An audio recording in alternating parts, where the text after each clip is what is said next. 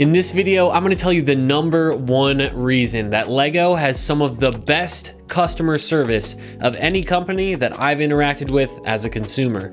It absolutely blew me away when I first learned about it. This unique policy of LEGO customer service could help save you money. Now, I think we all love LEGO for various reasons. They have a very reliable product. They have consistently good licensed themes that get people excited and new ideas for sets every single year. They know how to give the people what they want. Let's give the people what they want.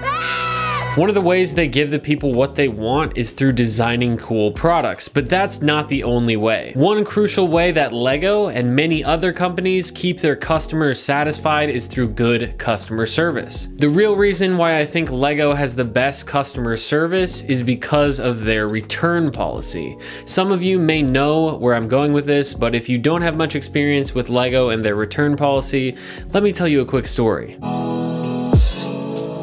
So, Christmas was a few weeks ago, and I was chatting in my Discord server with my community. And yes, I do have a Discord server. You should join it. The link is down below in the description. So, I was chatting with some members of my community about our recent Christmas LEGO hauls, LEGO sets that we were gifted, and everyone was super excited to share what they got for Christmas. But a common theme kept coming up people would be like, oh, I got this set, but I already have that one. Or I'm fairly certain I'm getting a Lego set for Christmas, but I already own two copies of the one that I think I'm getting. This year, it happened to me too. Someone gifted me a set and sent it to me through the mail, and I know they watch this channel, so if you are watching, I very much appreciated the gift.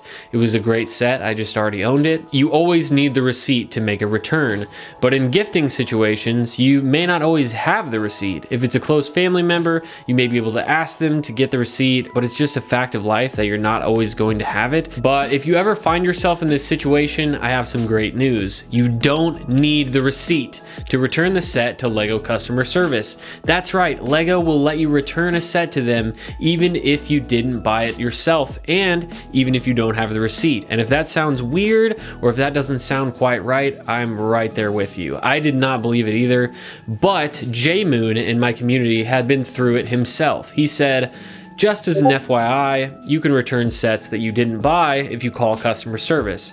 They will set up the return and you can get an e-gift card. What?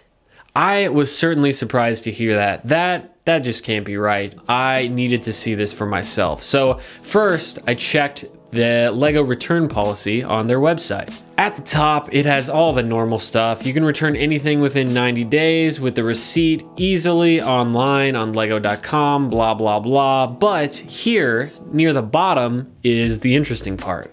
Unopened sets that are not accompanied by a shipping confirmation email or a receipt cannot be exchanged or returned to a LEGO brand retail store.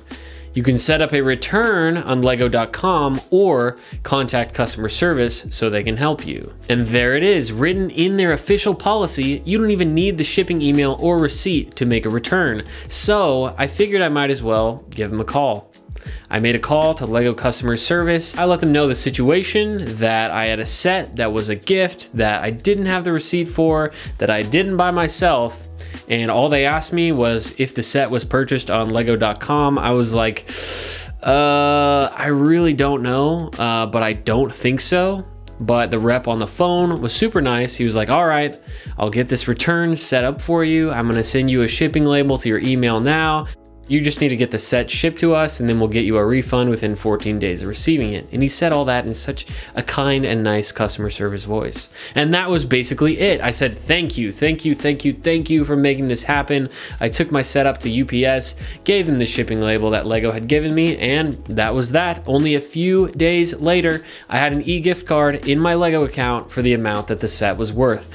All in all, this was an amazing experience. And I think it's the customer experiences like these that truly create brand loyalty, it's pretty easy to come back to LEGO again and again when their customer service treats you like royalty every single time. Oh, sir, you don't have the receipt? That's totally fine. Here is some money for you. But now, I am curious about a few different things, so if you have answers to any of these questions, let me know down below in the comments.